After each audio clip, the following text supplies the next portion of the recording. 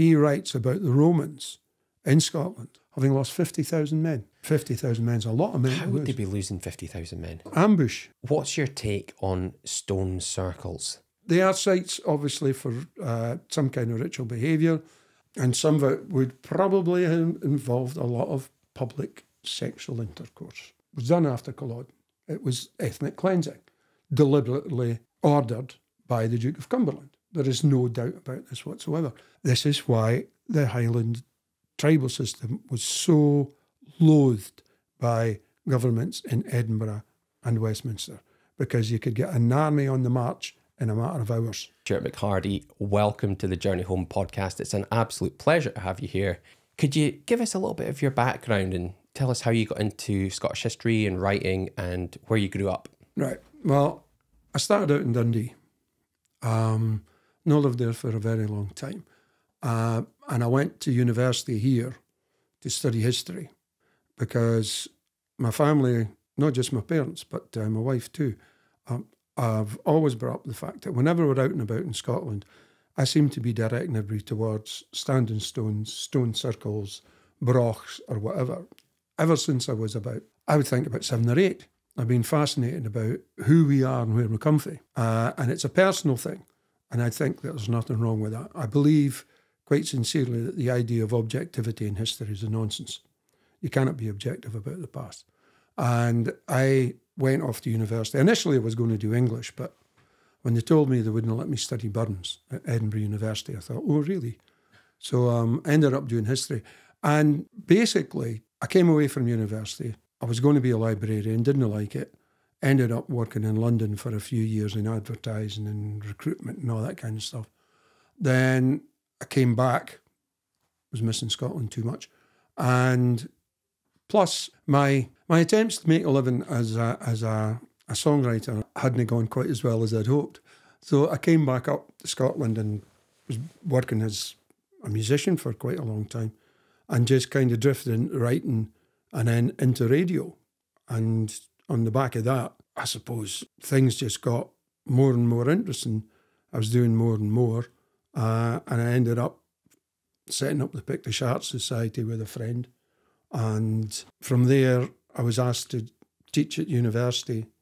And basically, it's all just unfolded. There was never a career in this. I was always just, I was always just following my nose, I suppose. It's good though that you enjoy your career. It's something you have a real interest in. Well, I wouldn't say it's a career, to tell you the truth. Uh, the, the one thing I can say is that I'm a fair age now, and I've probably had what you would call a straight job uh, for about five or six years in my life because uh, I don't really like the idea of working for other people. So the and the, the whole thing about history and archaeology and now geomythography, which I teach, is that it's all it's all kind of followed on one thing to another. It's not been it's not been planned. It's just following my interest, trying to find out what I think is interesting, and then of course you know writing and broadcasting and you know teaching all comes out of that. But it wasn't what I I, I didn't sit down with a, a plan at all. Do you remember the very first time there was one thing in Scottish history that just intrigued you? I think what I do remember is at primary school, we were taken it for a, a day trip to the top of Kinpurney Hill in the in the Seedleys behind Dundee. Not the Sidlaws, the Seedleys. I've looked into this, and that's what the, the name was. Where does that as. name come from? Well, I, I think it means the, the fields of the fairies, the Seedleys. I would think it's Sidlaws is the, the standard interpretation, which is the hills, the fairy hills, supposedly. But we're taken up there, and there's a, a kind of folly, uh, late 18th century, I think, uh, on the top of it. But when we came back and were asked to write an essay, I started writing about people that used to live there uh, effectively in prehistory. It was the first thing I ever wrote my first essay I can remember doing at school. And I remember the teacher being fascinated by it. And in later years, what really got me was that that hill actually had what they call a hill fort on the top of it. A Pictish hill fort. We'll have to talk about the designation of Pictish and what that from my point of view, I would probably say that's acceptable. Uh, but of course, most of the hill forts now know are nothing to do with defence or, or militarism at Okay, all. because just on Monday, last Monday, I was on the top of the Brown Caterthun, Oh, right. and I've always assumed that that's a Pictish hill fort for defence. I mean, Mm-hmm. and when I was standing there, I thought, oh, this has got a great view. You can see anybody coming, but why would you choose to live there otherwise? You wouldn't live there. Right. This is a thing that the it's now being kind of accepted that the use of these hilltop sites is not limited to defence. To me, it's not about defence at all. And an awful lot of it is about the White Caterthun on the next hilltop from where you are. And that I have been looking into for years and years and years. And I mind going up there, God, 60 years ago, it would be getting on for now, with my father, who was an engineer. And we walked around it, and he did a kind of, you know, he was a mechanical engineer, but he was, you know, very, very astute character. And he did a rough calculation of how long it would have taken to build. And the idea that that could have been built as a defensive structure would have taken so many years. And it would take, if it had to be built as a defensive structure, these things are normally built because they're needed. Something's happening, there is something going on. Uh, and the idea that it could have been built in response to some, Some kind of situation, conflict or yeah, a conflict or anything, it's nonsense because the number of people that lived in the area in that time, it took probably took them decades to build that. Aye. It's not something you could throw together No. quickly when No. you're in trouble. No, and if you walk around it to defend it, it would have, you know, you need a man every, I think it's every two yards, two meters or something, um, was the old rule of thumb, uh, along a rampart. There wouldn't have been enough warriors to man it as a defensive structure. It's not defensive. Very, very few of the hilltop structures are. Some of the some of the ones in the west, which are much smaller, the dunes certainly could be, but most of these hilltop sites are actually, I believe, were ritual Ritual. sites. Yeah, and the the idea of set of building up the wall uh, is to separate. It, it's like to say it's a holy space might be going too far because we didn't know what their religion was. But the the term that they use in folklore, a liminal area, because it's been separated out, and you're going there, and the, the whole community is going there. And I mean, people are still lighting fires on hilltops into the 19th century because these were gathering points for the communities. Something that struck me when I was up on the Brown Caterthun after reading your book, The Nine Maidens, I couldn't get it out of my head when we arrived there that there was nine entrances to the Brown Caterthun. I thought, is that just a coincidence after reading Stuart's book, The Nine Maidens? No. Because I didn't read that in the book, but Yeah, that yeah. Well, the, the book doesn't talk much. Talks a wee bit about the the kind of rit- ritual and magical use of nine. But if you go through, for instance, all of the early Irish texts, um, it's always nine guys or nine this doing that, and things are done nine times, or there's nine birds. Nine crops up all the time in the early Irish stuff. We don't have. Uh, surviving literature from that period. So we can't be sure here. But what we do know from the folklore is that an awful lot of ritual activity is done not three times, but nine. Nine seems to have been an absolutely fundamental part of how people acted in the world. have you any idea what kind of ritual they might carry out? Yes. Um, and some of it would probably have involved a lot of public sexual intercourse. Right. I think that was part of it. But one of the keys to understand it for me was they talk about a lot Beltane. You know, we've even had, we've even had the revival on Calton Hill, um, which can get quite spicy itself at times. Uh, but I was reading about, or talking, probably lecturing about uh, Beltane and the fires at Beltane, and why the fires were so important because you, you, all fires were put out. There was the raising of new fire uh, by friction, and everybody took a bit of that at the end of the ceremony and took it back home and relit their own fire. Fire was central to how people performed at Beltane. But then I came across What? Sorry, can I just go back? Yeah. What? What? Could you just explain Beltane there? Beltane, it's the first of May. The first of May. The first okay. of May. Um, and it's not, this isn't unique to Scotland or even to the British Isles. It, it's a very important time across the world.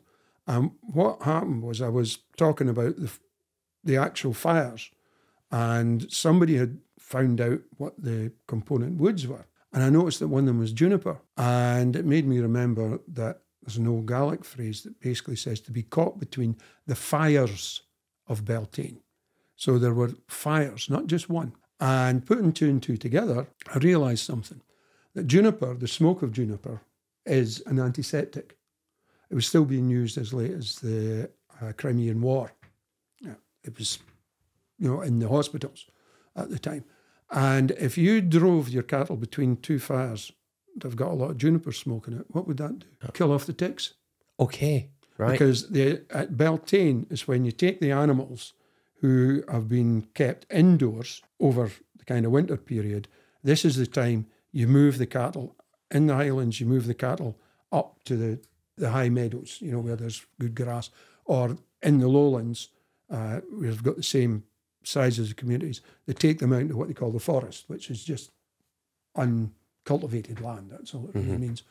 Uh, you take the cattle away, but this is the time that they've come out after being kept in over the, the winter. So this seems to be a process of, how can we say, practically uh, helping the, you know, the keeping of cattle. so the people doing this, these are like uh, Iron Age. Are we talking Pictish era here? We're talking, I would say, probably as far back as we can think. Okay, and they're farming animals, grazing them, and They're grazing animals. Animals are, we know that animals are at the core of the tribal systems of the people here when the Romans arrive. Uh, it's still basically the same in physically most of the country uh, into the 18th century because the tribal structure of Scottish society had not basically changed in that time. is it, how, do we know this from from Roman writings, or uh, is it recorded by the by the people of that time? Well, we have nothing here. Okay, Uh, we have no, due to a series of invasions by various people from south, uh, who we don't necessarily have to mention, um, and the Romans themselves. If there was anything here written about early Scotland, it's long gone. But we do know what the Romans tell us, and the Romans tell us quite a lot. And they're a tribal warrior people, uh, and that's what a considerable number of them still are in the middle of the 18th century. And the Romans, what? How far into the area did they come? Well, the Romans get up as far as Morayshire. They keep coming back. They keep coming back. And the reason they keep coming back is that they keep getting hammered, basically. They come up, uh, they came, they saw, they left again. It's basically the Scottish version of Julius Caesar's famous dictum. But for like for instance, for they're, they're here for 20 years near enough on the Antonine Wall. That's the only extended period of occupation we can be sure of. And if you look at the various maps of the Roman forts and signal stations and camps and, and the Antonine Wall itself, what you actually see is a series of campaigns. They are not resident here as such. And the analogy I use for students is think about the, the Britons and the Americans in Afghanistan. The only time you're ever out of your enclosure is when you're tooled up and ready for battle. And I think that was exactly the same for the Romans over here. Did they remain? Do you think in, in trade for some time, or I mean, would they have traded traded meat, metals, tools, weapons? Well, the, I think the what couple of things that, that are mentioned in the records is Caledonian bears, you know, for their you know their love of you know fighting in the Colosseum and all the rest of it, people fighting each other or animals. So, So they the, took Caledonian the bears Romans for took that. bears Oh yeah, to to fight yeah, for entertainment. yeah. Uh, and they also took hunting dogs from here. We know that. They probably were into uh, precious metals where they could find it, and if they were left in peace long enough. They were probably here trading for a good while beforehand. And personally, I like the story that uh, Pontius Pilate's mother came through Dull in Perthshire. I, I think I've heard. Mackenzie. you know, I, I, I like that because that that actually is very illustrative of history because stories survive. Stories can survive for tens of millennia, uh, despite what they teach at the universities. We have absolute proof of this, and this people hang on to stories that tell you an awful lot more than history can at times. And the idea that there was a Roman trader up in Perthshire uh, at the time of Christ makes absolute sense. Because apart from anything else, they, they were sending people out to scout out where they wanted to come and, you know, and take over next. Well, there's a famous tree there, isn't there, in um, Fortingall Yew. Fortingall, yeah, where Yeah. they say Pontius Pilate played as a youth. Yeah, I love that. It's You a know, great, it's, a, great story, and But- um. I think it brings a lot of tourism in as well. But it's quite possible, isn't it? Because It's, it's not just possible, it's illustrative of the fact that despite what has been done to Scottish history and despite the way uh, our history has effectively been traduced, it shows the fact that Scotland was never beyond the known world. It's just that the whole understanding of history has been skewed by the, the central importance of literature. And because of the role of literature in modern Western education, the role of the spoken word has been effectively ignored um, or suppressed. But people keep telling stories. I mean, I've found stories in the past few years that I am pretty sure are thousands of years old in Scotland where do you find them? on people's tongues. Okay. People are still telling them. Well, I want to ask you actually because I, I want to go back thousands of years before the Romans and uh, depict the mysterious Picts. And the last time I had an episode on the podcast where I, I talked to some people that found a skeleton that they dated back to the Pictish period, I asked them where did the Picts come from, and they said they don't know, no idea. It's fascinating. Where, what's your take on it? The Picts, the way they were taught, uh, and I remember this from the University Scotland, you can't use the word Pictish before 296 because that's the first time a Roman wrote it down. Sorry, I want bow your heed as far as I'm concerned with that.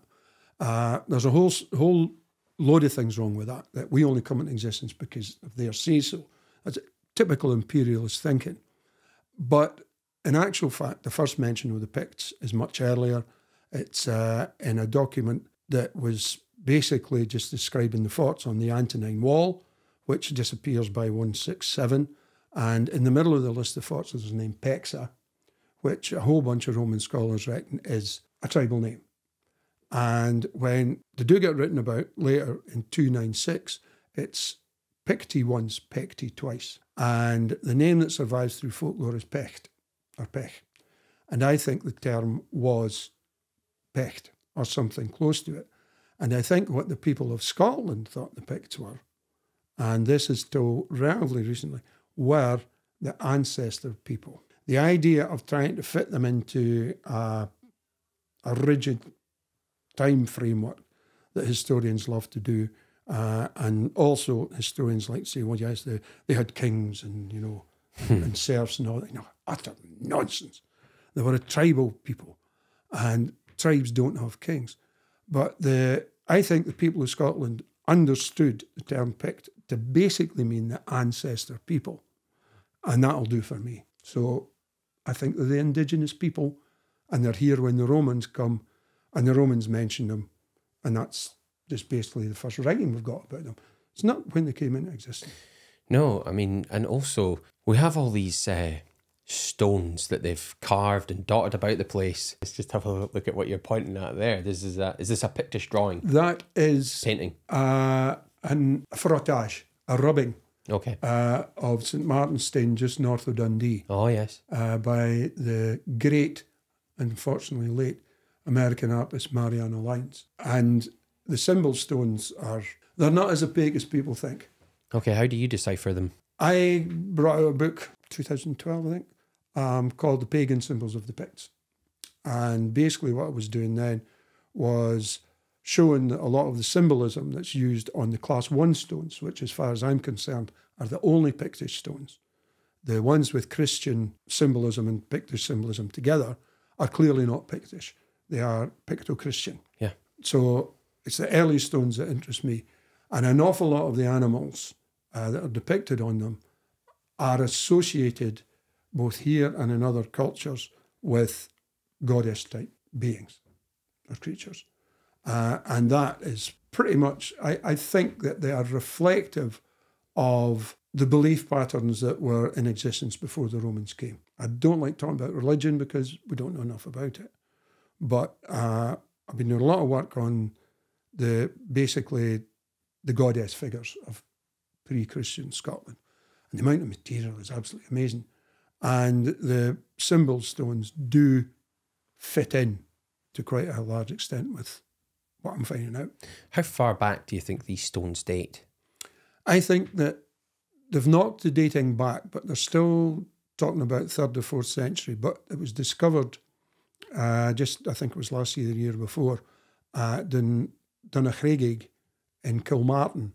They found on the capstone or one of the um, burial cairns there, on the underside of it, uh, a whole series of carvings of deer, which are thousands of years old. So the carving of stone, the carving of animal likenesses on stone dates back thousands of years. And I think that, that some of the Pictish ones might actually be a lot older than has generally been How, how many thousands are we talking?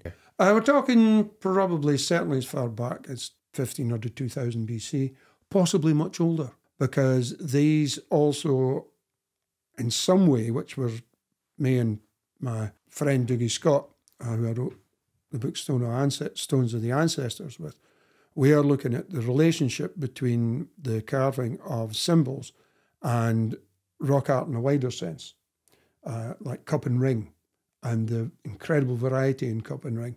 And we're beginning to discern potential patterns in how these things relate. Cup and ring. Is that like a, a, a hole Yeah. It carved into the stone with a kind of a hollow around it? Yeah. Used for what? We think the creation of them was in itself uh, a symbolic act. We don't know enough about what people were thinking to go much before that. It wasn't for like milling purposes of any no. kind. Oh no, no, no, no. It's something to do with how people understand the world. And again, Dougie and I talk about this a lot, and we think it's tied in with the notion of the ancestors, because one of the things about tribal societies in general is that the ancestors are still with you. They've gone, but they haven't. You see what I mean? Um, and something about the creation of these stones, which take, you know, these rings, if you're just doing that with a, another bit of stone, that's taken a long time. Is that how And they would have yeah. carved it with Oh, stone on stone? Yeah, initially, certainly, because some of them are very, very old. And it's all tied together um, in ways that we're just beginning, I think, to understand. What's your take on stone circles then in that case? The way that they arranged these stones into circular shapes? The they are sites, obviously, for uh, some kind of ritual behaviour. Uh, the majority of them uh, have some kind of burial in them, which I think is just a process of sanctification to some extent. Um, but they are almost universally aligned on either the sun or the moon or both. They are something to do with the understanding of the world and the seasons. And some of them are also go beyond that. The, some of them frame what appear to be uh, important sites in the landscape. Um, they are they go back a long way. There are varieties in what they do. It's like the the the, the different range of stone circles and henges that you get all seem to be kind of localized variants of the same idea. And they are to do with the sun, the moon, certainly. But again, uh, I would I would say that they are tied in with the notion of the ancestors. But the idea of the ancestors is not what we think of. It's a different concept. The ancestors are not only just part of the world, they are the people that gave you everything in the world that you need to live. These are the ones that chose the land that you live on. These are the ones that, because remember, there's no writing. So everything you need to know to survive in a quite often hostile environment has to be handed down to you, which you got from the ancestors, but it's then your job to pass that on. And that awareness of where you are in time as well as in space is something that's difficult for us to comprehend in the modern world. But I'm pretty certain that's core to how people functioned. How much of the language from our ancestors remains in modern languages now? Like, I'm, I mean, there's a tough question, but like we're going into like Gaelic, English, or not, uh, you know, Yeah. the languages languages we use now. How much of that, or can we find any words from the past Oh, I think we can find a lot more than words. We can find ideas, we find stories. Because one of the things about stories is that stories will jump language change. And one of the things that I think is quite natural that has happened in Scotland over the past century and a half has been this focus on Gaelic. And one of the unfortunate side effects of that, apart from, you know, the, the equally bad treatment of Scots, uh, is actually the fact that people forget that for a very, very long time, most of the people here actually spoke North Brythonic, i.e., P Celtic. I've never even heard that word you or that description. North Right. Brythonic. Well, that's in the modern world, the Brythonic languages survive in Welsh, Breton, and Cornish. Uh, that's P Celtic. Uh, Q Celtic survives as Irish, Gaelic, and Manx. And they're two branches of the same initial language. But it's very important, I think, to understand that the designations of these languages is only 300 years old. People that were speaking this two, 300 years ago said, oh, you, oh you're a Celtic chap. It had no meaning at all. Um, and that's one of the problems that language throws up. Once you designate a language as this, it becomes that description. Whereas the people that spoke earlier than that never knew anything about this at all. But the, there are still place names that have survived uh, from P Celtic area. Uh, there were scholars who suggested that the P Celtic language in Lothian could have survived in the 12th century. But because Gaelic late, you know, spreads in, Gaelic takes over, uh, so you've got Gaelic and Scots, uh, the P Celtic side of it has all been ignored. But the Picts would have been P Celtic speakers. And the boundary line was probably Loch, to the west of Loch Lomond, they're speaking Q Celtic. To the right and north, they're speaking P Celtic in the first millennium. Why was it called P and Q Celtic? The easiest way I can explain it is um, if you th- the P sound in the Brythonic side of things uh, is the same as K. And imagine the Welshman. He's Owen, Map Owen, Owen's son of Owen. Uh, his cousin up here is Ewan, Mac Ewan, Right. because you've got, there are other differences, obviously, but the main dif- one of the main differences between two languages is that they use P instead of the K sound. Uh, and you see that in uh, Penicuik, just down the road. In Okay. Uh, that's Pen or Pialn, which is the same as the Gaelic Kialn, meaning head. Okay. You know, and there's lots and lots of, of instances of that kind of thing. What sort of place names would be uh, like P Celtic? I mean, what would be like a? Uh, how could I find a Pictish place name Well, they reckon Aber. The most common one is Aber. like Aberdeen, Yeah, Aberfeldy. Aberdeen, Aberfeldy, you know. Um, which is Inver in Gaelic. Right. It's the same thing. Uh, but nowadays, the specialists in place names are very good at going back and teasing out where a Gaelic name uh, was initially a, a Pictish or Brythonic name. The problem is that by the time you're getting the compilation of the maps, the Ordnance Survey maps in the 19th century, the guys that are going out and doing the collecting only know about Gaelic. They don't know about the earlier stuff, and everything to them is Gaelic anyway, which is quite possibly what it was. But there also there could have been quite a bit of it lost at that point.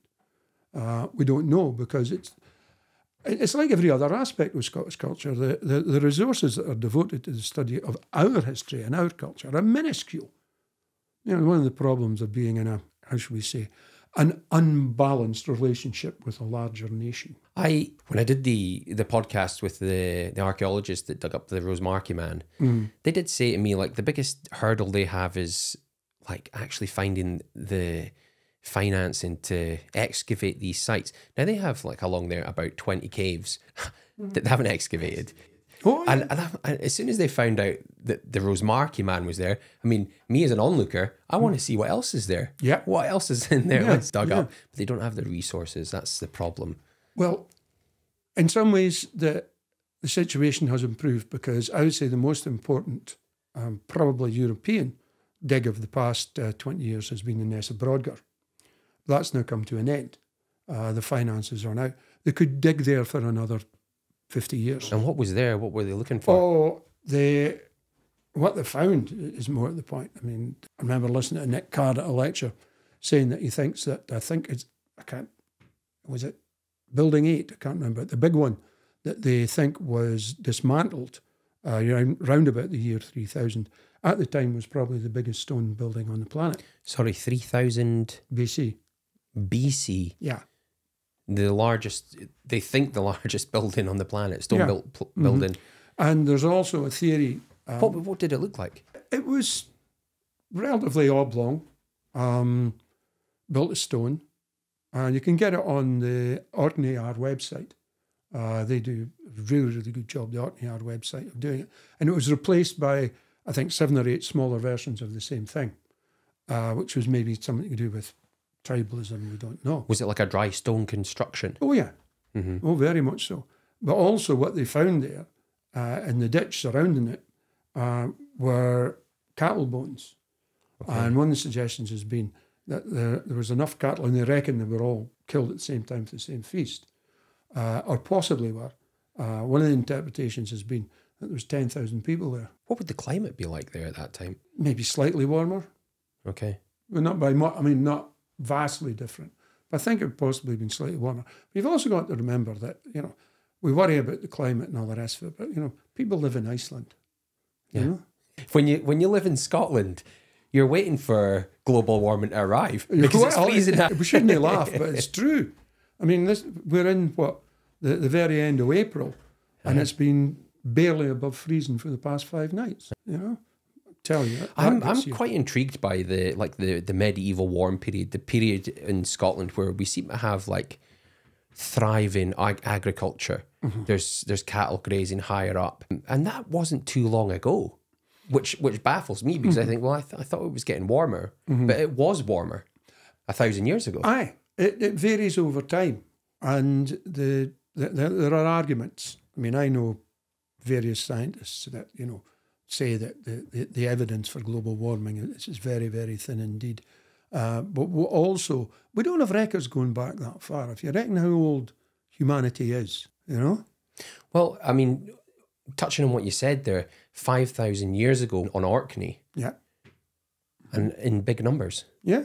And it must be, I mean, that's a harsh environment, quite exposed. Or would it have been exposed then? Would they have a lot of trees? They, or? probably would have had more trees then. but again, what, one of the things is that we only have spots of information. Again, because I know it sounds like you know I'm getting out my fiddle, but the the amount of research into Scotland's past that hasn't been done is quite shocking. Uh, in fact, and I'll give you a perfect example, right, of how not only has it been ignored, it sometimes it has been deliberately suppressed, right? Now, oh, I can't remember how many years ago it was now, certainly over 20 years ago, I came across a document in Edinburgh Castle, okay? It's called the Cantonment Registers of the British Army in Scotland, 1746 to 54, handwritten. And it's a document of the British Army coming up from before Culloden till the mid 50s. And what it clearly shows is that virtually every glen in Scotland had a wee garrison. Every town and village in Scotland had a wee garrison. We were effectively under British Army occupation for 10 years after Culloden. And I thought, this is amazing. And the curator uh, at the library and museum there, Stuart Allan, gave me a copy of it, a photocopy. And I thought, oh, your beauty, you know. And I went around every organisation in Scotland that purportedly has anything to do with Scotland's past, asking for help to transcribe this. And the answer I got from them all was, oh, we don't have a budget for that. Uh, and several well Kent professors said, oh, I'll, I'll see what I can do to help, and did nothing. And then a bunch of my students at a course I was teaching on radical history said, can we no transcribe it for you? And we transcribed it. Uh, we took a few pages each. And then one of the guys, a wizard, uh, Davy Kelly, he put it up online, and there's now a map, an interactive map on the Stennis website, S T E N N I S. And the students went out and did amazing work and found even more sites than are mentioned in this. And I think the map now is over 600 of these sites. That's fantastic. I'll, in this video, by the way, I'll put a link in the description Yeah. to where people can find that yeah. map. Oh, yeah, that'd be well. great.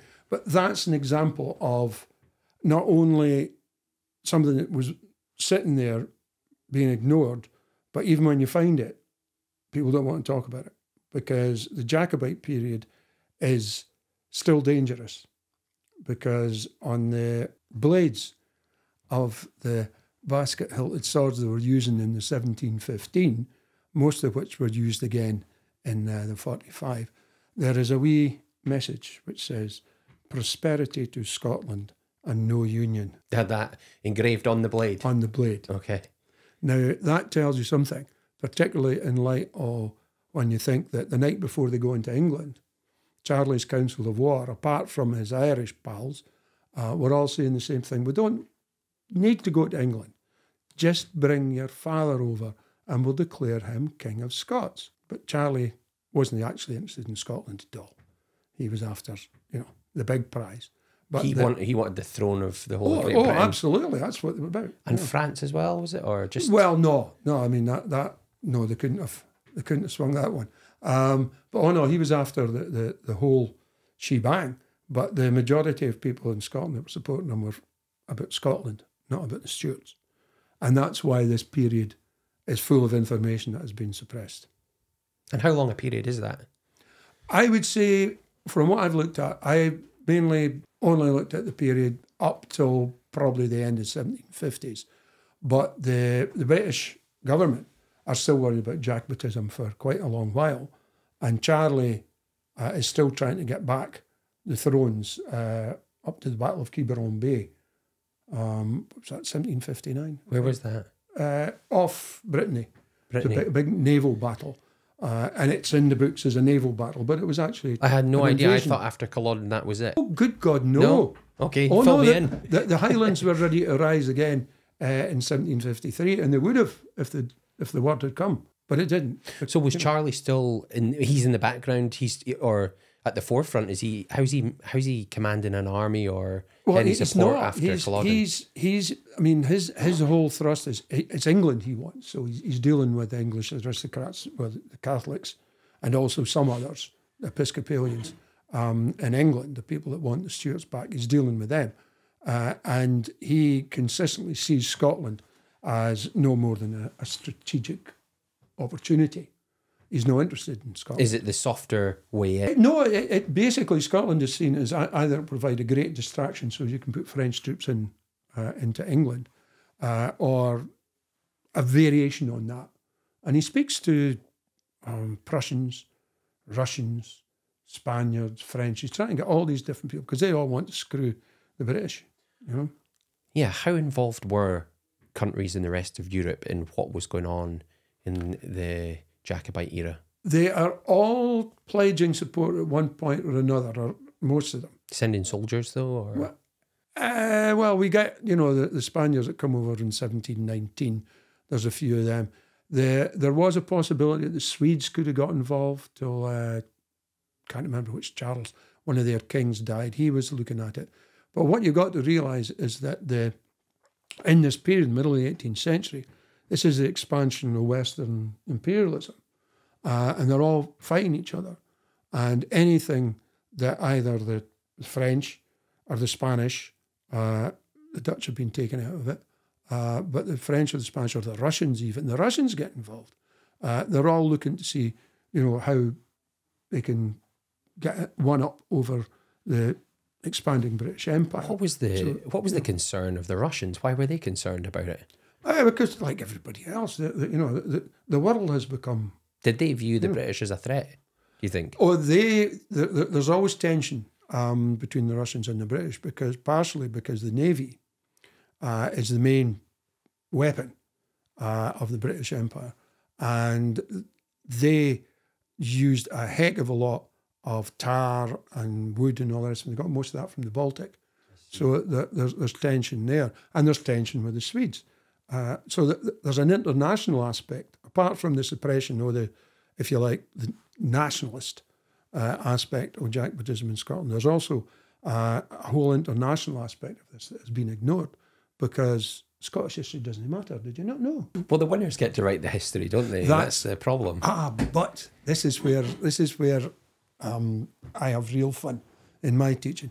The winners get to write the histories, but the losers never stop telling their stories, and the stories survive. And if you think about it, I mean, I can't mind when I first heard the phrase "the butcher's apron" uh, to describe uh, the Union flag, uh, because people in Scotland remember what was done after Culloden. It was ethnic cleansing, deliberately ordered by the Duke of Cumberland. There is no doubt about this whatsoever. That's never really been forgotten. And I bet you, you know quite a few Jacobite songs. Let me know because I, I probably do, but Yeah, I, oh, I, yeah, I well, wouldn't you know, know, come they're back again. You know, Bonnie Charlie's new Johnny Cope. All these things, these are still sung because the people, through the living culture, have never forgotten. Whereas the historians have gone on and just tried to tidy up the picture and all the rest of it.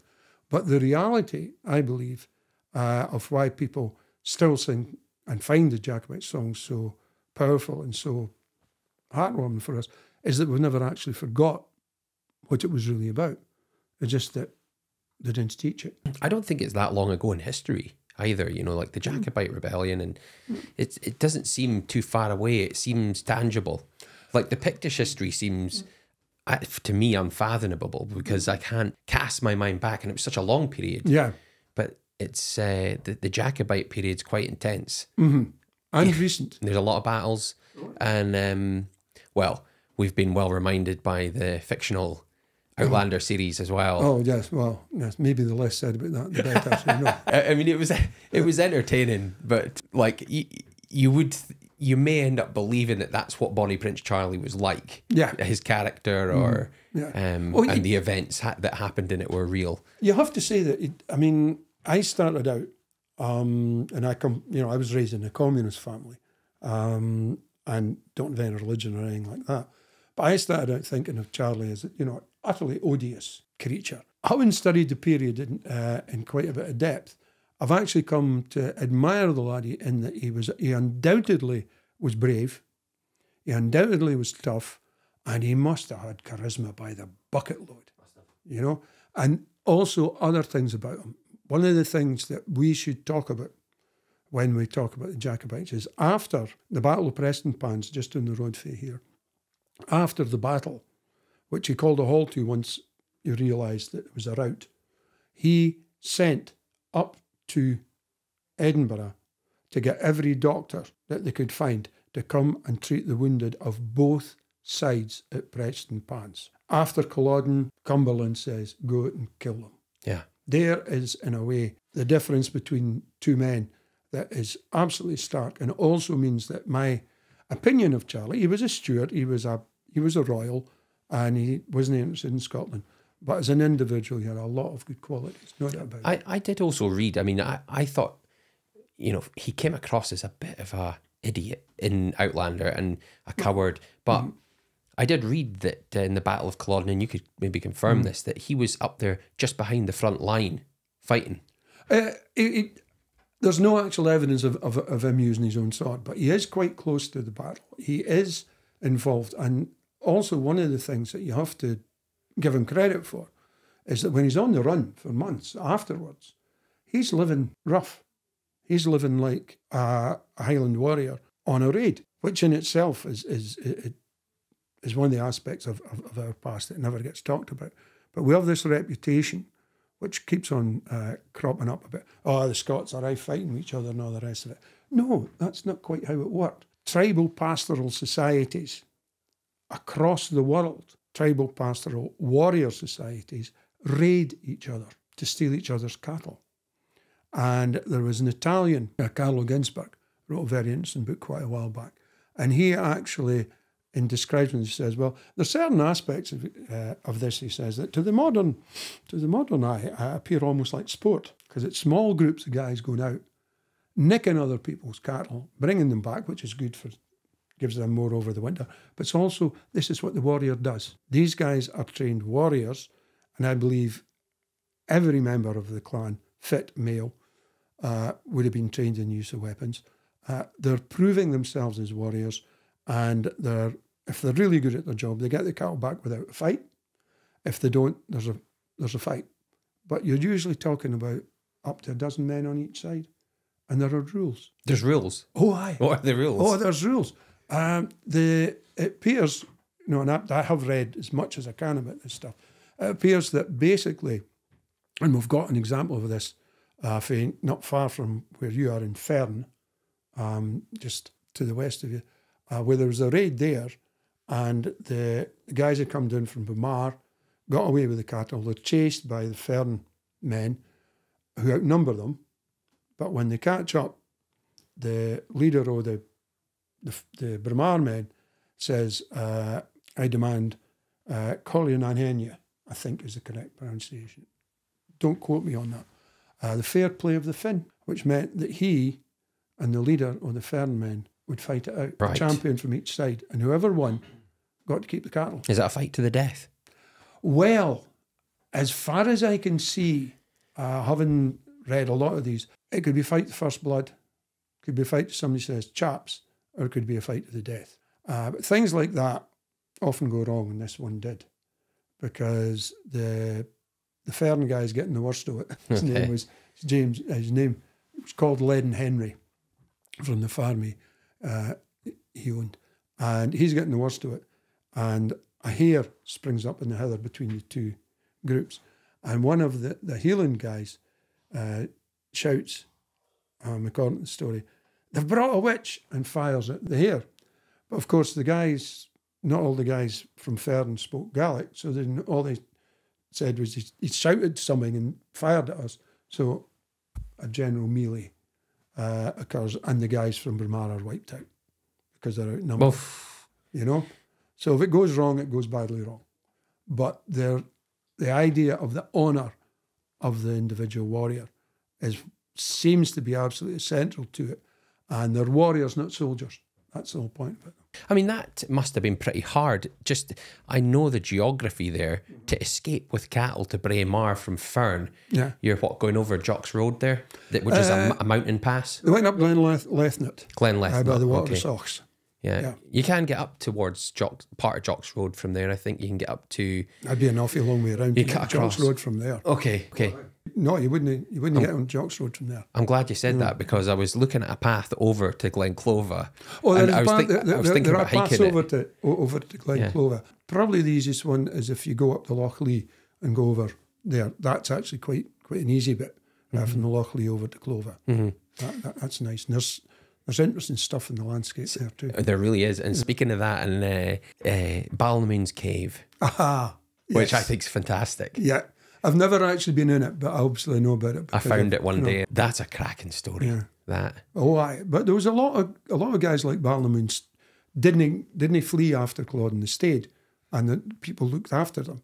You know, Cluny Cluny McPherson had a cave up on Ben Alder. Um, uh, well, they built a kind of big wooden cage for him uh, on the side of, of a hill. Who was Cluny McPherson Cluny then? McPherson, the leader of the McPherson clan, Okay. and he's he was there for years. And there's there's a lot. He, he lived in that environment? Oh for- yeah, but the, there's the whole period. There's all kinds of things going on.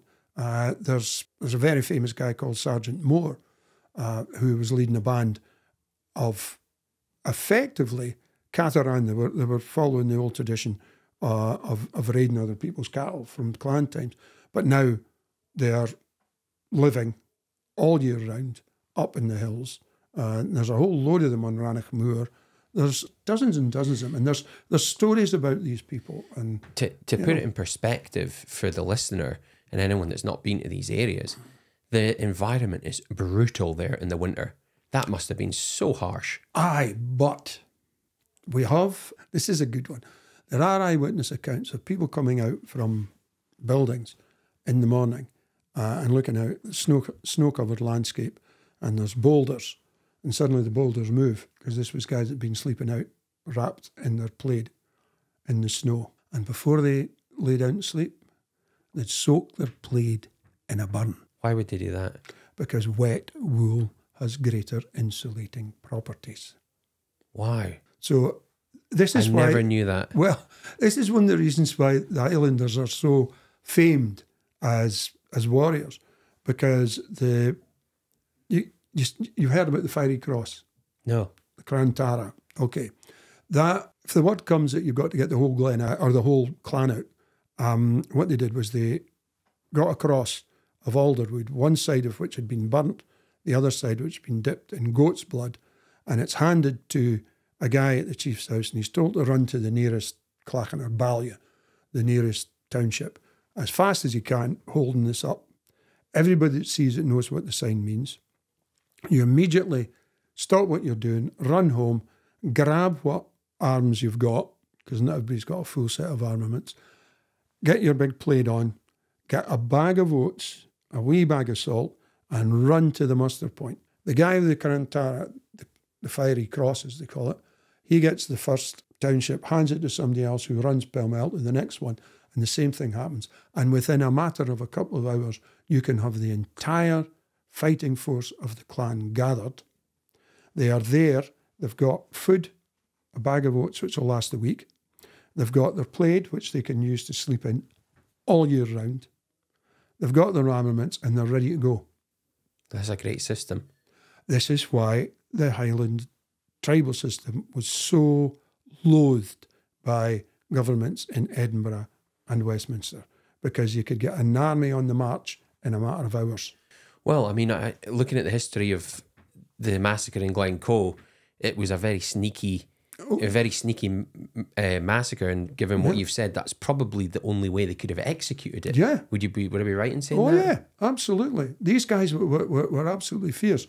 They're also trained to, you know, to go out and live off the land effectively, like they sleep out.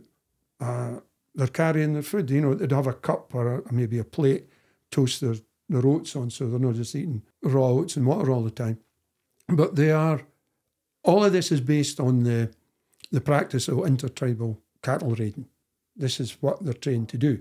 But it also makes them this incredible fighting force, incredibly mobile. Do, would they practice like various fighting techniques? I think they'd be taught. I mean, in my investigation of it, it seems that laddies were taught stick fighting from about four or five years old.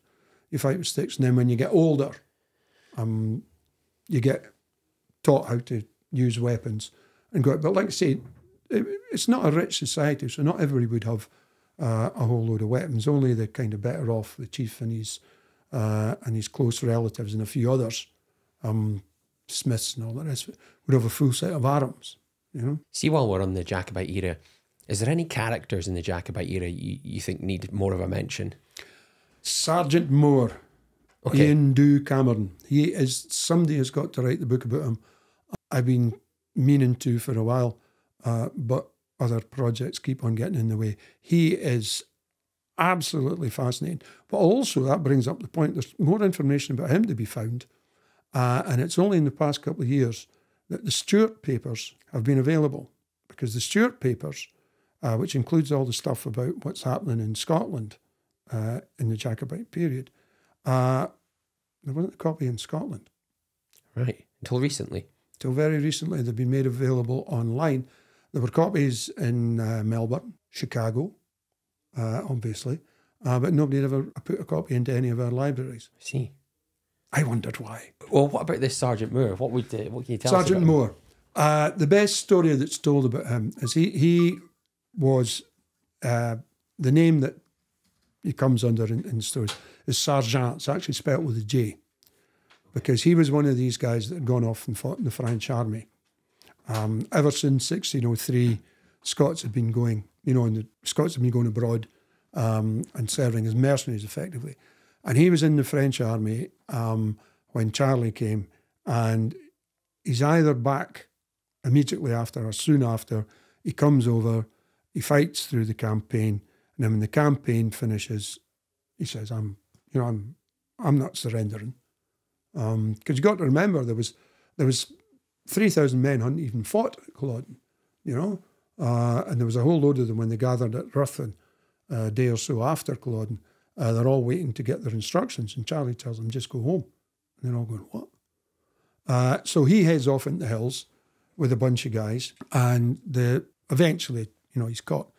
Uh, but the best story I know about him is there's this quartermaster is heading up to Fort William, and he's coming up through the Mamores with his escort and two horses carrying the money, you know, boxes full of money. Uh, and the mist comes down, and of course he panics uh, and doesn't know what's happening when and stops where he is. when the mist comes up, finds himself alone. You know, the soldiers had headed off in the mist and got separated from him. And at the time, most Englishmen that came up to the Highlands were terrified. This wasn't beautiful. This was scary. That's how they saw it, you know, all these mountains and this wild weather and all the rest of it. So he's on his own and he's pretty terrified. And he, he, all he can do is follow the path he's on. So a while later, he's going through between these mountains and he sees up ahead of him somebody standing at the side of the, the path. And he gets closer and it's this six foot four inch, black haired, black bearded um, Highlander in full Highland dress, which by this point is illegal anyway. Uh, and the fact he's got a musket across his back, uh, a sword at his side, a brace of pistols in his plaid, uh, doesn't really register with the poor quartermaster. He's so relieved to see another human being, and says, "Oh, uh, says, oh," and the guy said, "Where are you going?" Says, "I'm going. I'm going to follow him." Oh, you're going to An Gearasdan. Fair enough. Could you take me? Yes, I will. And as they go along, the guy's so relieved, he starts yabbering and yapping, yapping, yapping, yapping. He says, I'm awful glad I found you. Awful glad I found you. He said, I've heard such horrible stories about the men in these hills. Said, and there's one in particular, this Sergeant Mòr that they talk about.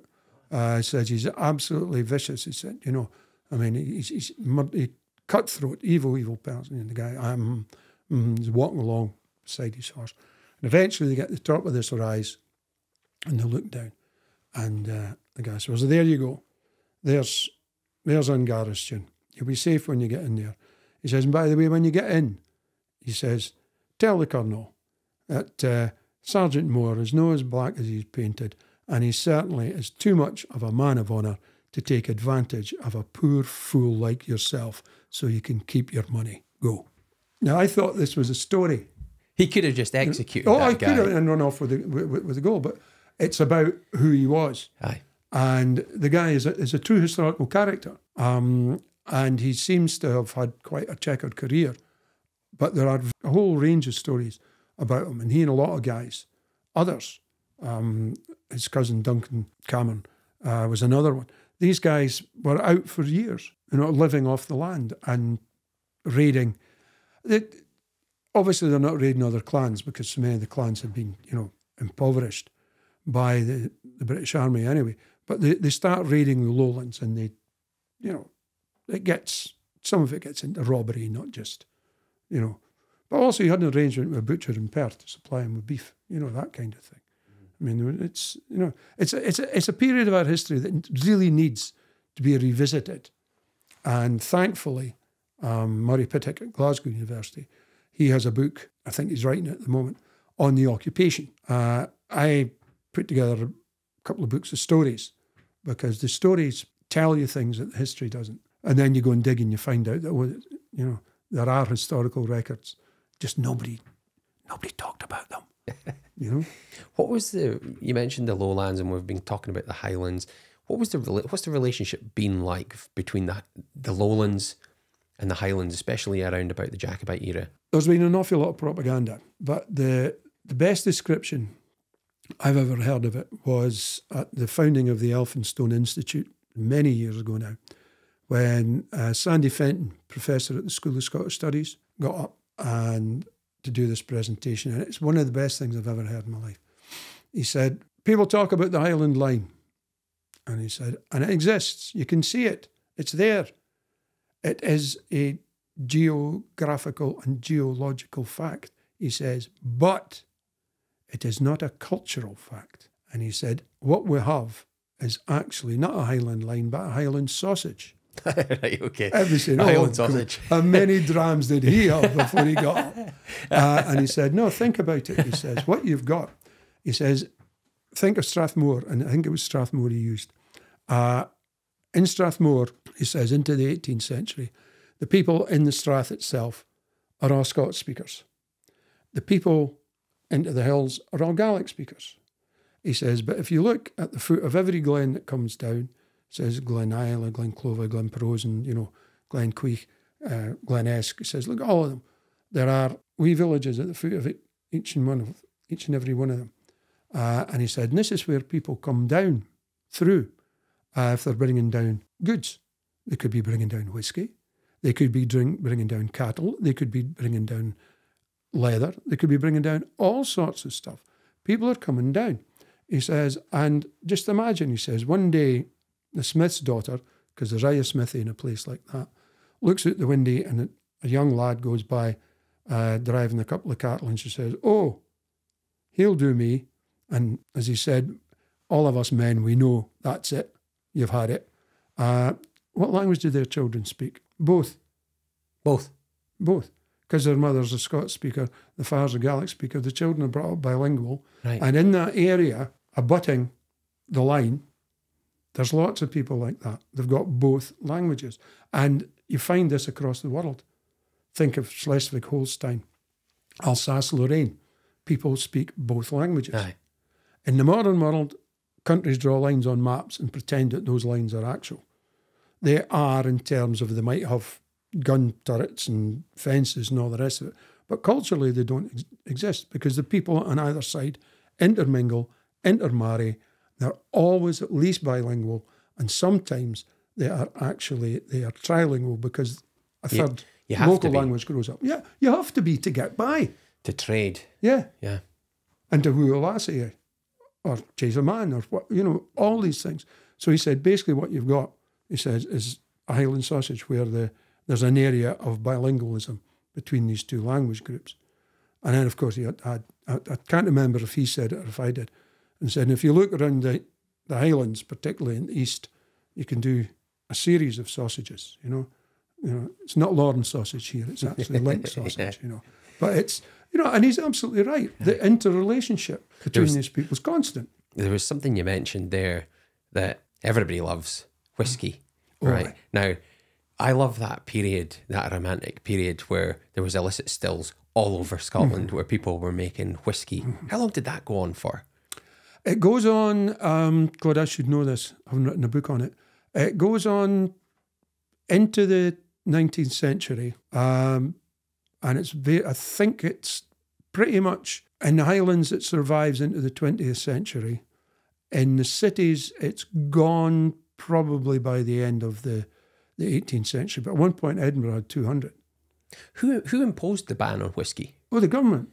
The government. Yeah, because the, the government wanted people to drink gin. Can you put a finger on, on a person? Was there somebody uh, Oh, it, it, it goes on over years. right?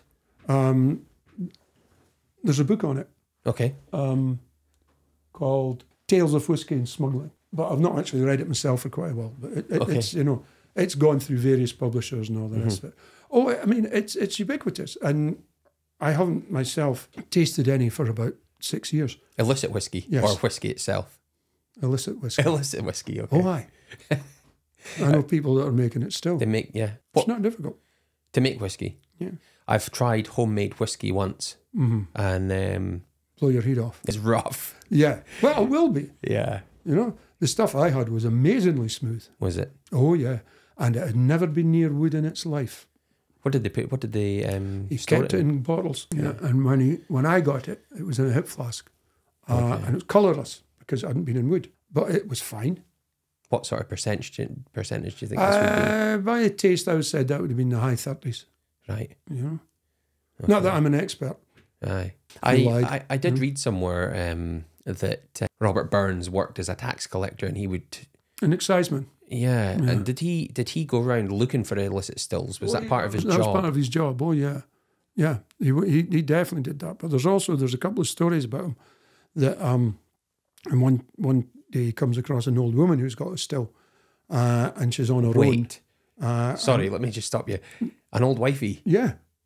Was everybody at it? Oh, aye. Everybody women- and your granny. Oh, oh absolutely. um, women, women were, were in particular were were very good at the at the turning because what you have to do is you get your malt, you soak your malt, then you've got to put it on a dry flat floor till it sprouts, and you have to turn it so as you know it, it sprouts evenly, uh, and it's then you start the process of making the whiskey. You know, you, you, you then dry it. You know, Okay. put it through the kiln.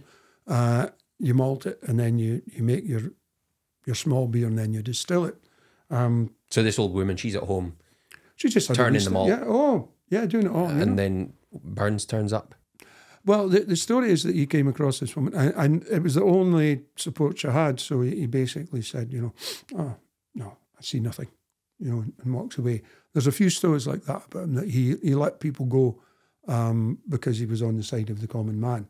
And, and you don't know if it's true or not because that's the kind of thing people would say about Rabbie anyway, because he is, you know, he's just so culturally important for all of He- us. he's you know? so celebrated. oh, and quite rightly. Where I live in Montrose, there's a area that they've actually marked out where he stopped to water his horse one day. Yeah. you know, and, you, and I think how loved was this man Yeah. that Well, he Well, why not? He was the world's greatest poet. I mean, I have. I mean, he's the only, as far as I'm aware, he's the only poet to have been translated into every language that has a literature on the planet, which says all you need to know about him. He, he wrote about people. when you th- I I was watching I'm going to compare something here right mm-hmm. I was watching the Champions League final last year and they were playing a Queen song in the Champions League final and I thought look at that like Freddie Mercury's been dead for 30 years and they're still playing his songs but Robert Burns Oh, you go back old Lang Syne I mean oh, never mind Auld Lang Syne. I mean, um, a parcel of rogues is one that I do quite a lot, but the the, the great one is a man's a man. I mean, that's an anthem for humanity. This is what he was about. And the fact he was Scottish is fine because everybody comes from someplace. There's nothing wrong, you know, there's nothing wrong with that uh, because he gets accused of all kinds of things. You also will find folk that say about him that uh, you got to remember that he, he, was basically fundamentally a loyalist, you know, because he wrote this Haughty Gaul invasion threat, um, which was a poem he wrote about the problems uh, with the French Revolution. But the final two lines of that are We'll never forget the people. We'll never forget the people. And using that term at that time meant specifically the organisation, the Friends of the People, who were radicals. Another aspect of Scottish history in, in the 1790s this time has been totally ignored. so what was he referring to there he the was, Friends of the People, okay Thomas Muir and his pals. and who were there who's Thomas Muir Thomas Muir was an, a lawyer who initially came from Huntershill over in the west, and he was the secretary of a convention of the Friends of the People that was held on the 12th and the 13th of December in 1794. Uh, and basically, these were people who had come together, influenced by the ideas of Thomas Paine, who'd been involved in the French Revolution and the American Revolution. And it's the idea of, you know, basically democracy. They were wanting a fair share because the country was incredibly corrupt, particularly in the 1790s. Uh, and they were just basically looking for representation in the modern sense. And the convention was held for two days, and then they got arrested, and there was a series of show trials, uh, and Muir and a bunch of others uh, were sent to Australia, transported. exiled Yeah, supposedly for sedition, which wasn't. They were actually tried under false pretenses, uh, sentenced uh, under law that had no uh, bearing in Scots law whatsoever. That didn't matter. Um, and there's a monument to them in the Calton Cemetery at the foot of Calton Hill, um, which has been getting a bit more attention recently. But it's been hidden away, that aspect. And there was loads of others at the time. if somebody came to Edinburgh to visit at the top of Princes Street Yeah. and they could find it up there Yeah, it's the big monolith. Uh, looks a bit like Cleopatra's Needle in London. Uh, and it's, you know, who erected that it was erected by public subscription in 1840. okay Not long after they failed to raise enough money to finish the pseudo Acropolis on the top of Calton Hill, which was a monument designed to be in honour of the empire. ah And they couldn't get the money to finish that. But we got the Martyrs Monument. We got the money for that from the people. And that says something about the attitudes at the time Yeah, then. I'd said something about Scotland. Mm-hmm. But the, the version of what Scotland is and who we are that gets into the books and goes out in the media all too often is one that is basically designed to please the lairds. Yeah. Stuart, what are you working on at the moment? I know you're working on a couple of books. Uh, there's two books to be out this year. One of them is called Hiding in Plain Sight, which is basically an investigation of how much material remains in the landscape and in the culture that is actually derived from pre Christian thinking. and it focuses on the Cailleach. That's her name in Gaelic. In Scotch, is known as the Carlin. And in the various stories about her, uh, she creates the landscape.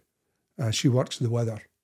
Um, in one particularly nice story from quite late, um, time James the Sixth, um, maybe slightly earlier, uh, she's a giant figure, and she actually lets fart North Berwick law, so which has become a bit of a burlesque by then. But in earlier times, she creates the mountains, um, she creates the lochs, and she's the hag of winter, but she turns into the glorious golden headed bride of summer. This is one of the nine maidens. No, no, no, no, no, no. This is older than the nine maidens. Okay. This goes back to very, very early human thinking. And the world is understood through the process of the fact that everything has a mother, so so does the world. Basically. I'm looking forward to reading this. And there's stuff, there's stories, there are sites, there are mountains named after her, there are dozens of burdens named after her. Uh, oh, there's just so much stuff, it's unbelievable. And an archaeologist actually asked me a few years back, could you actually gather all this stuff together? Because I suspect there's more than we think.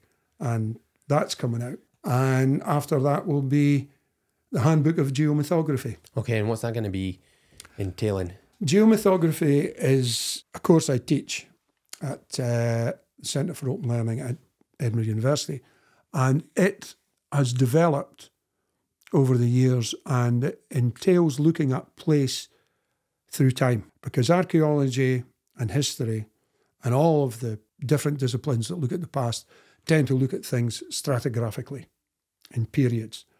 Uh, I started looking at places in a different way, vertically, if you like. So it's what's happening in one place and how that affects the culture in that place over time. And you find that really weird things, places that seem to have been used for rituals, potentially thousands of years ago, are the places where the conventicles were held uh, in the late 16th century when, you know, the, the battles that are going on over religion and the, the illegal uh, church ceremonies are held, held in places that had already been used long, long before because they were part of local culture and people knew about them. Uh, whereas people historians and all the rest of it like to think that people forget about who they are and where they come from enough to go and read them to find out about the past. No, things survive. Like I said, I found a story about the Cailleach uh, just a few years ago um, on a hill named after her. Uh, and it was told us by local people. It's never been near a book, but it survives. And ideas like that, just yards from where they were telling me, was a couple of Pictish symbol stones. And the church that was there was in all likelihood built on the site of an origin, originally established ritual site. So the continuities of culture through time yeah. uh, are studyable and you can find out a lot. And that's what the process of geomythography is about. Well, I, I mean, I grew up right next to the church in Rosemarkie. Oh, right. And mm um, that was probably put right on the top of a Pictish yes. monastery, if, or if you would yeah. want to call it a yeah. monastery or whatever kind of worship place. Yeah. And I know that the stone that's in the Groam House Museum mm-hmm. was picked out of the church. Yeah. Out of the floor. Mm-hmm. Um, by the way, that stone has a mm. cross on it, right? Yeah. Who, who, who, put that there? Well, the thing that ha- what happens is from 609 onwards, it's official church policy to take over the pagan precincts. The Pope actually says that in a letter. Pope Gregory says it to Bishop Mellitus in Britain. Um, this is quoted by Bede, uh, the English historian. Uh, and he says, Take over the pagan precincts, remove the idols, but it is all right to put in relics of the saints, uh, stop the sacrifice of animals, if that was happening. Uh, but it's okay to have a feast for the saint. No irony understood at all.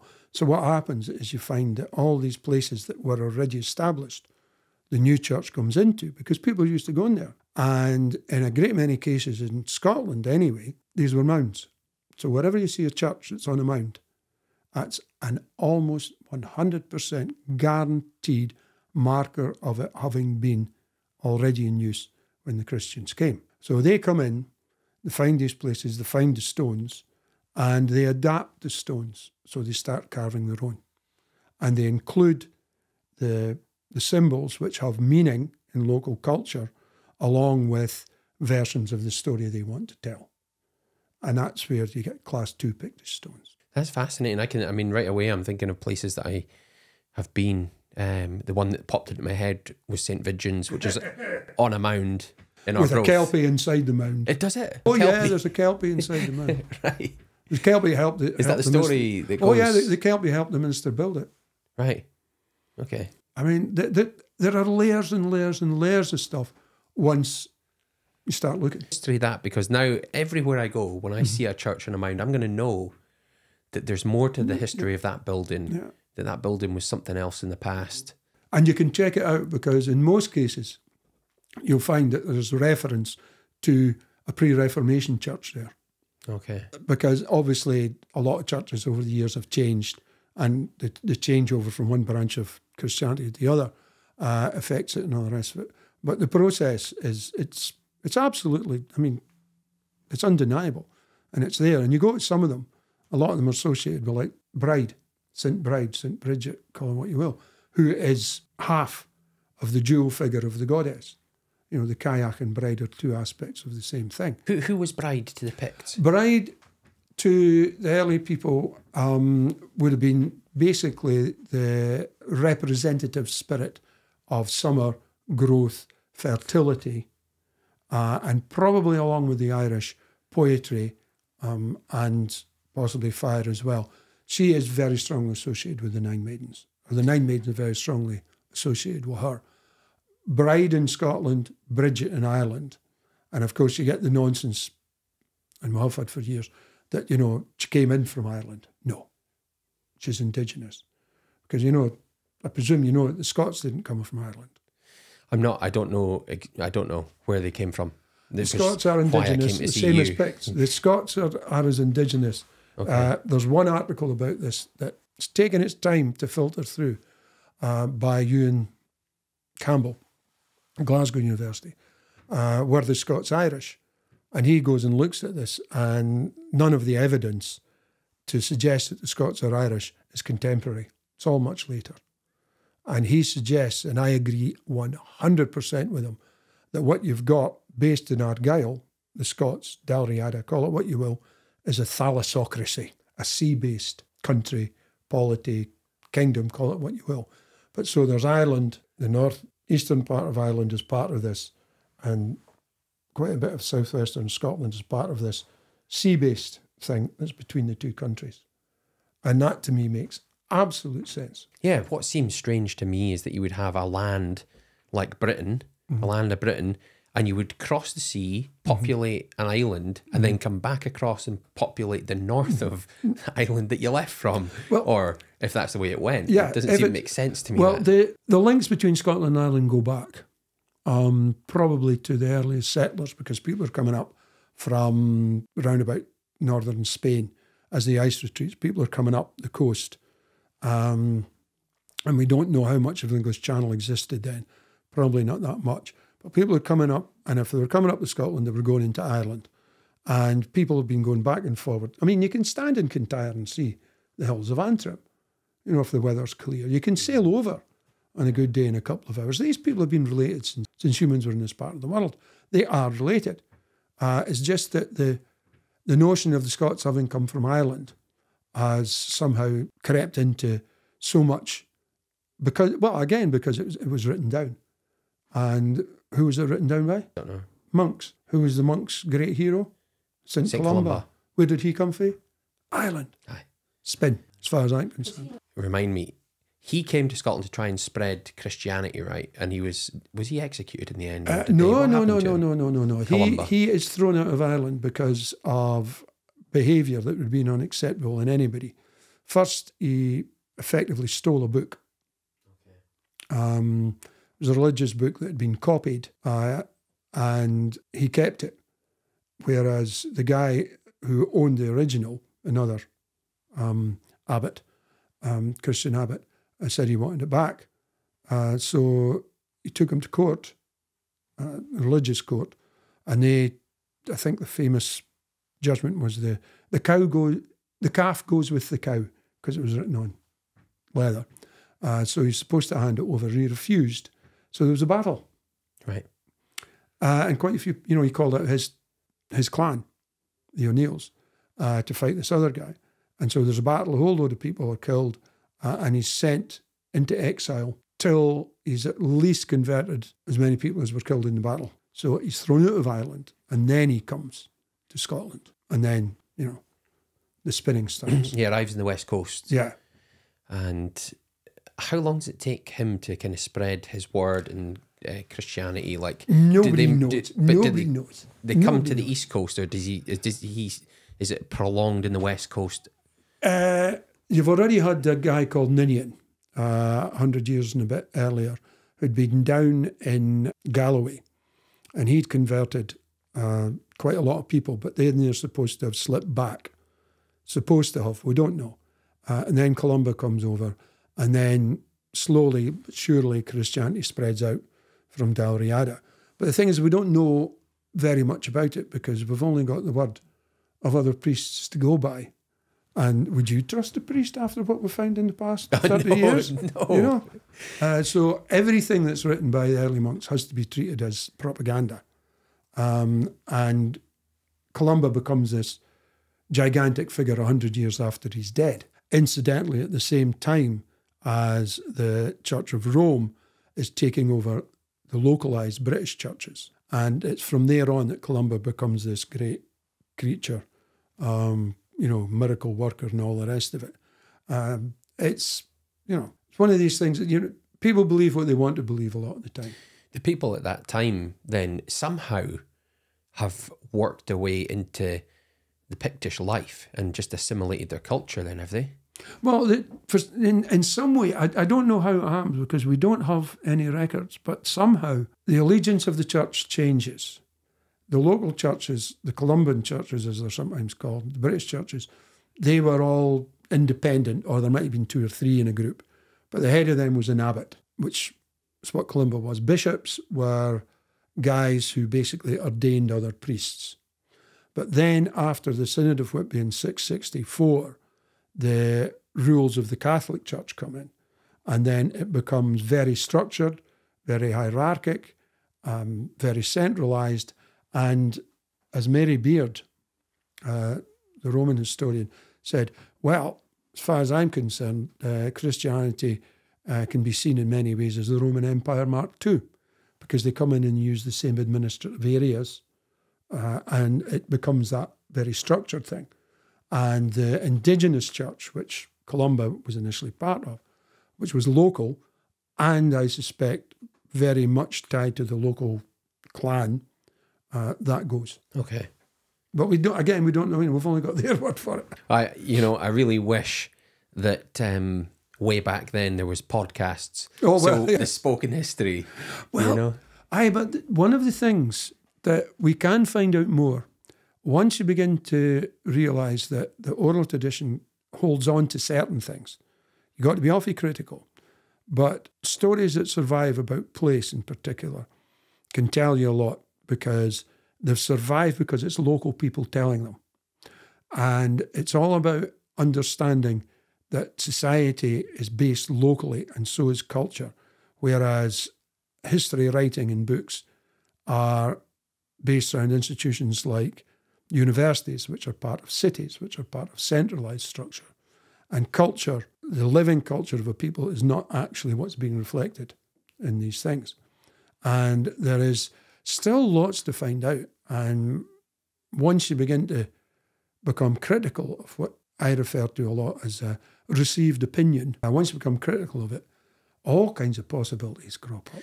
I'm very critical of it. Uh, I, I've got to be honest because you you're looking at text now, history, written history that was mm. written by somebody. We don't know how well they researched their topic, and we don't know if they had an agenda at the time. Did they have any preconceived ideas? Well, the thing is, you can always figure out what the preconceived ideas. If they're a, if they're a Christian, which all of our early historians were, their first loyalty is to their God, or to what they think is the word of their God. It is not to anything we would recognise as truth. In terms of the Romans, they never wrote history at all. They, they, it was all propaganda. effectively with the Romans. But because of that, you can take stuff out of the Romans that you can be pretty sure is accurate because there's no reason to tell you this as as what we would think objectivity because they're not. Am I right in saying a lot of what the Romans left were just kind of like accounts, records of exchanges of money and gold? There's, there, there's a lot of that, but we we we we, we are very very lucky. We, we we do have bits and pieces of people like uh, Dio Cassius or Dio Cassio. It gets uh, differently spelled. He was the secretary to Septimus Severus, who was actually here in the early third century. And he writes stuff. He, he tells you some amazing things that they just ignore. One of the things he wrote, and this is in the year 217, he writes about the Romans in Scotland um, because they'd conquered England, you know, a bit earlier than that, having lost 50,000 men. I take it he's not referring just to the seven years that Severus is here. But even if that's from coming in in the year 80 to 217, 50,000 men's a lot of men. How would they be losing 50,000 men? Ambush. Ambush. Yeah. They're venturing beyond the Antonine Wall and getting ambushed. Yeah. Well, he's saying 50,000. I mean, why would he exaggerate that? Yeah, well, there's no You know, reason to. you know, that doesn't seem doesn't to be a sound good to, for you know. uh, propaganda. No, no, it doesn't. And he actually describes um, the natives in bogs up to their neck. What? Yeah. They're They're in, standing for hours in bogs up to their neck. It's ambush, they're waiting. they would just lie in mud Yeah. up to their neck. Yeah, and, and then the Romans are coming out foraging or getting wood or whatever. Um, and any small patrol is, you know, because to me, a lot of this is about Mons Graupius, which, you know, it's supposedly this great battle that was fought. Uh, it's never been found. Mind you, been looking in the wrong place. But the if that did take place, and if the Roman figures are to believe, which they're not, 30,000 Caledonians killed, 364 Romans. Um, reminds me of the American Vietnam War, you know, uh, kind of thing. But if they did fight them in a pitched battle, they'd only do it once because the Caledonians, stroke Picts, uh, are warriors trained to fight mano a mano. That's basically how they do it. Whereas the Romans have got this killing machine, you know, like the tortoise that just comes in and soups up everything in front of it. Uh, you would only fight them in a pitch battle once because you're not going to win. Is there any truth that in it that the uh, Picts would fight naked? Quite possibly, quite possibly. There's Collessie man, uh, the carving on the Collessie man stone. He's just wearing a cloak and has a spear and a shield, uh, as described by Dio Cassia. Um, but also, the the whole term berserk, which people think is Norwegian, may actually be Scottish. Berserk, because this is what they were doing in Highland warf well battle. Uh, you throw off your plaid. You get above your enemy if you can. You throw above, throw off your plaid. You shout and yell and scream, and then you run down the hill with targe on that arm, dirk in that hand, sword. In, whoops, sorry, sword in the other hand, uh, and you're just wearing your shirt. So the psychological effect of half naked men charging at you if you're not used to it must have been quite considerable. It would have been. You know, that's the Highland charge. Did they? Do you think it was because they saw armor as cumbersome in some way, or I think it, it, it's that if they were thrown off their, their plaids, the plaid's too cumbersome, and that's nothing compared with armour. You know, armour is, is not conducive to, you know, what you might call athletic movement, is it? one of the uh, archaeologists that were was working on there was a Marky man. He was telling me that he's been he'd been doing some digging at Culloden as well, and they were Right. They'd um, pulled up some lead shot, and um, he started telling me about this story of how the uh, the Jacobite soldiers had just thrown their pistols away. He said um, his take on it, based on how far the lead shot had gone, they know which was uh, the Jacobites' lead shot. He, he he they they thought actually they were too close to reload, so they just threw them and just charged. That's part of the, the process. The process is ideally you get above the Highland charge. You, if you're lucky enough to have a musket or a pistol or a brace of pistols, as you charge, you shoot. Then you throw down your weapon, and while you're running, and this could be down the side of a hill. These guys were, you know, some athletes. You take your targe from off your back, you slip your targe onto your arm, you take your dirk out, you put it in your left hand, then you pull out your sword while running. And then you hit the front line and it's like that with your targe, which has got a spike in it, which takes somebody out that way, moves him to the to the side, uh, and then you slash in that way. And they they were terrified of the Highland charge.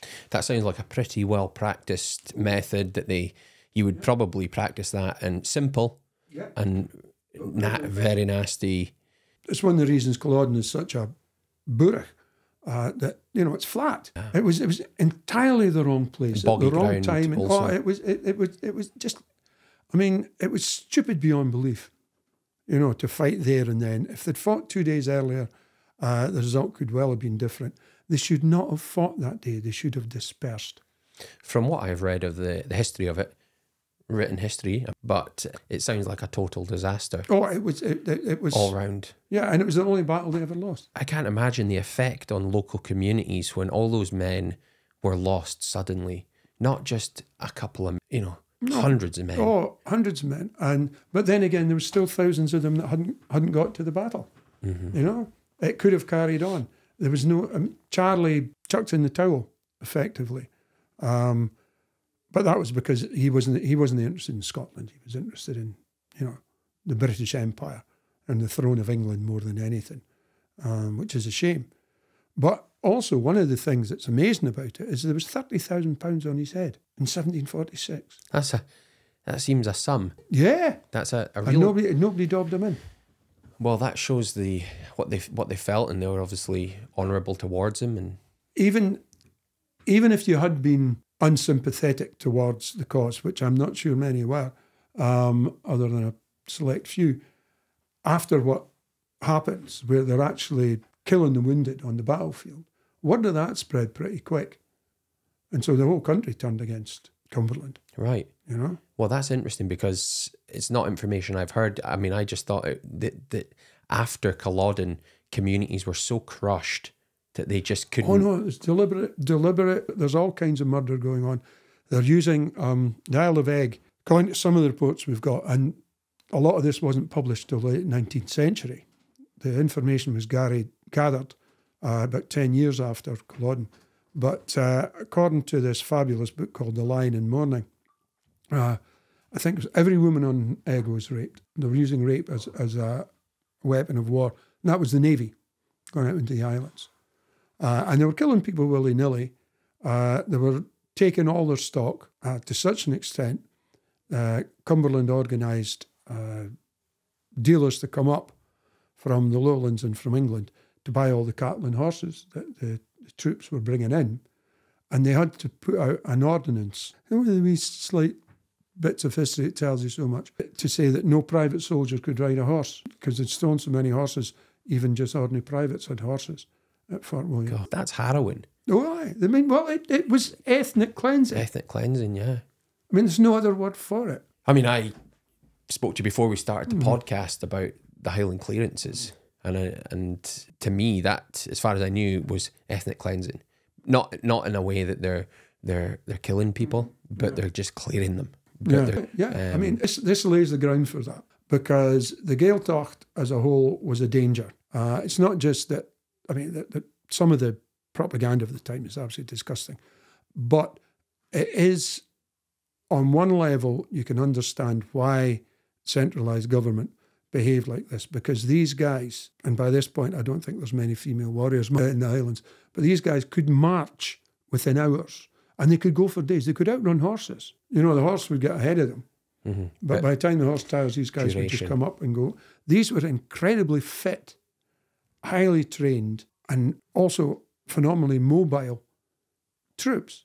And they were a danger because you could get them, you know, you get them going in, in weeks. I could, know, in days, hours actually, you know. you could just well imagine the environment that they lived in, how fit they would be. You'd have Yeah. to be. You'd, there'd be no choice to be. You Aye. wouldn't be unfit. No, you can't be if you're going up and down hills all day. I mean, it's it's better than going to the gym. Oh, definitely. You know? I would go up and down hills all day if I could, uh, given the choice. Um, how did that compare? Like, I, you said that there was a price, and that was a sizable price Oh, on God, yeah. Charlie's head. Go way back to another uprising, like Hmm. William Wallace. Did he have a price on his head that people defended him from? The, the, He, locals. he, he was being sought, but I, to tell you the truth, I don't know. That's something that I've actually have to look at, but um, quite probably. And of course, he, he you know, this is is very interesting because he, he gets tried for treason under the laws of a country he's not from. Wait, He, he did say that in the trial, didn't he? Oh, yeah, you have no right to try me for this. Yeah. you know. And what is very interesting, and it's one of these things that, again, snippets after 1707 and the Union of Parliaments, or the, the Wan Chansey Covenant, as friends of mine refer to it, the following year, Westminster passed the Treason Act, which is known as Oyer and Terminer, which is English. It had no grounding in Scots law whatsoever, but it's the, the law they used to hang, draw, and quarter Wallace. And that was put on the statute books in 1708, which is an absolute and utter breach of the treaty the year before. I didn't realise that. I thought that they, you know, he recognised Scotland as an independent country and the the King of England never, and they were just going to try him on those laws. But Well, the, the, the English were always, I mean, th- th- this has been going on since Roman times. I mean, the Romans came up, uh, the Northumbrians came up, um, and everybody gets flung back. And the English came and came and came and came and kept coming uh, and always lost. They could never take us over uh, until it was done by, you know, a few handfuls of gold and a stroke of the pen kind of thing, but it, it wasn't a battle. But oh no, S- Scotland was an independent nation. The problem was that, you know, slightly later, Bruce gets excommunica- excommunicated, which put us in a dodgy, dodgy position. But we, we were actually a country before England was. I mean, I read somewhere about that that uh, was it John Balliol was the man who signed over Scotland to become part Yeah, of but Britain. what, he, he, could, But- he didn't have the right to do that. but was he forced to do that? Oh, of course he was. You know, because I mean that's all Edward I was about.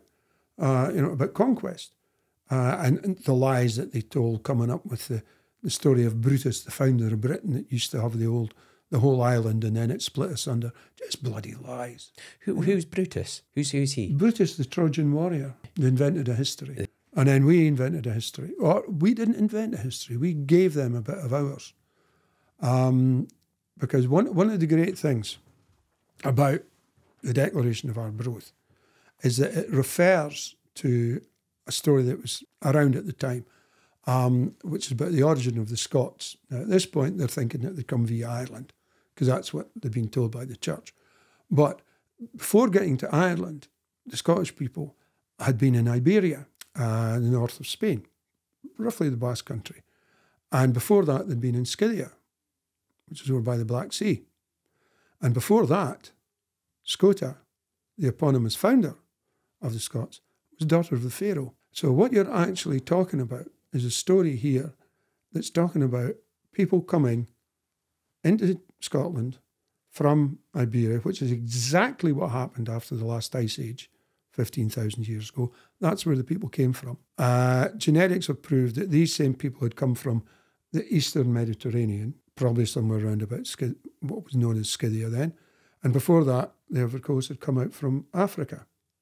So you've actually got us giving a story which could only have come through oral sources about us having originated in Africa and coming around that, which is exactly what we know. This is what happened. It makes we now know sense that. because you know coming out of an ice age, people would have been probably concentrated around or closer to the equator. You would that. have Yeah, oh yeah, very much so. And they, they call them refugia. Uh, each one is a refugium. And the main one for Western Europe is roughly the Basque Country, um, around about the Pyrenees.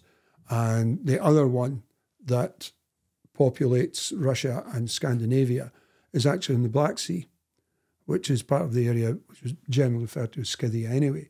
So what we've got is stuff going into our story, our version of who we are, which has since been proved by science. Brutus, Brutus is a, a Trojan warrior. Going back to that, he would have been Greek, right? Or Yeah, that area from literature. from literature. Okay, where did that come from, though? It comes from Homer, Greek. Okay. You know, the, the, you know the, the, the, the Iliad, the description, uh, which pe- people are pretty sure that uh, that originated in oral stories.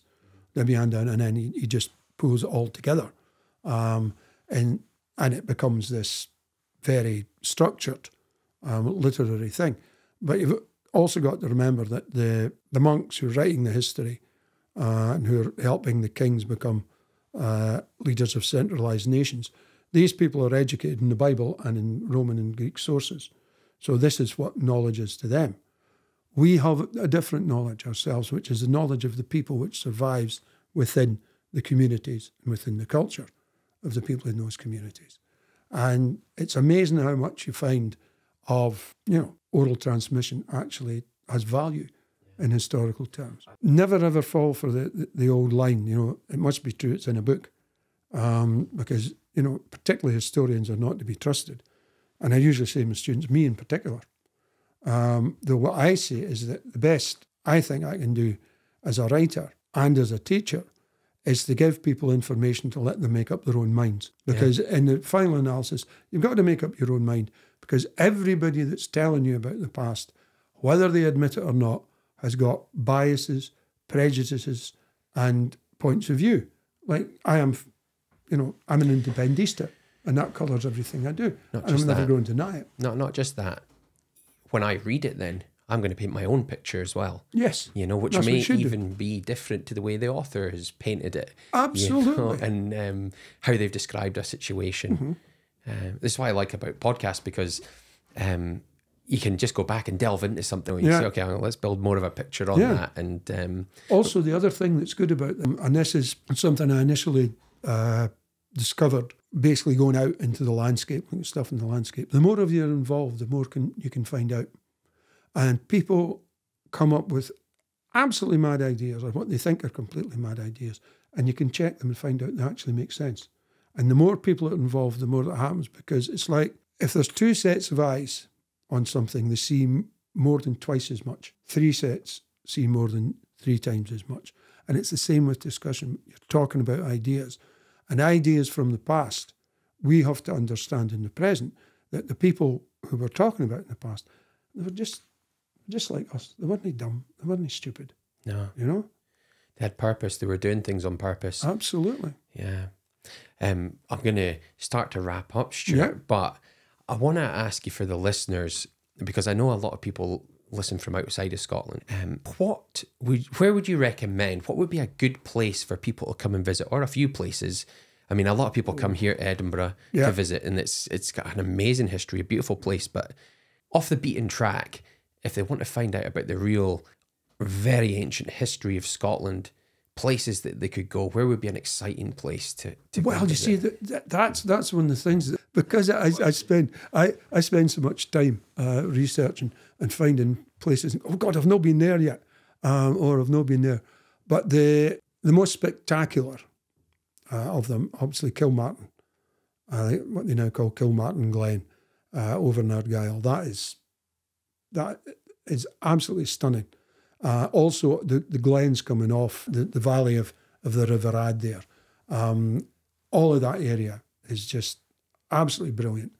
Um, the island of Jura. I know. only know Jura for the, for the whiskey. Yeah. Well, I, I, but tell me, yeah. So no, island of Jura's Jura, got great history. Jura is full of it's full of great stories, but it's also got at the north end uh, the third biggest whirlpool in the world uh, the Corryvreckan Whirlpool. Yeah, which of, of course is very, very strongly associated with the Cailleach, the goddess. The the rock under the sea that forms the whirlpools is actually known as a Cailleach.